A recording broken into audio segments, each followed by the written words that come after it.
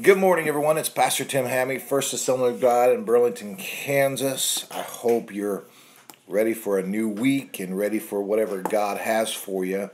Well, well, it's Monday, so of course we're trying to get stuff going and life's going. Philippians 1 6 is what we're going to deal with. Be in confidence of this, that he, who began a good work in you will carry it out it unto completion until the day of Christ Jesus. Have you ever thought, man, you're called, you, you've done everything, and what uh, you seem, what you are doing for the Lord, or you're just submitting your life and doing everything that you can.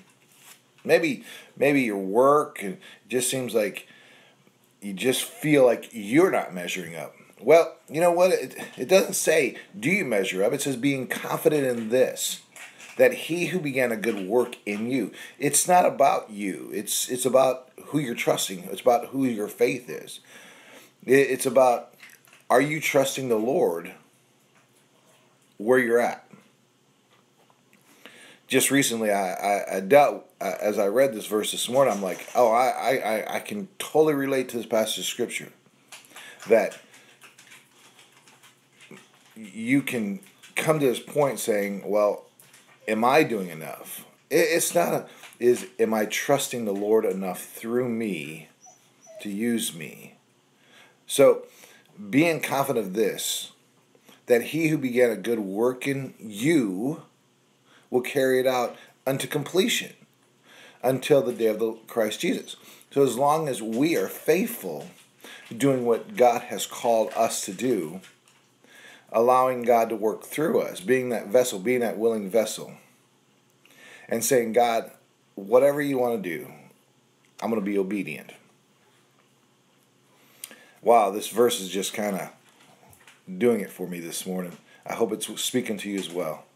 So, be confident in this. It's not about you. It's it's about trusting the Lord in what you're doing, knowing that God is in control. That he began this work. He when you committed your life to the Lord, you says, God, whatever you want to do through me, I'm committed. He's already working in you, so be confident of that. Let him complete the work in you until the day of Christ Jesus. He's never done with you. He's working through you, so be confident in this. I love this passage of scripture. So, remember this is a Bible study. So get out your notebook. This should be good for you today. Philippians 1 6. Be confident of this, that he who began a good work in you carry it out, will carry it out unto completion until the day of Christ Jesus.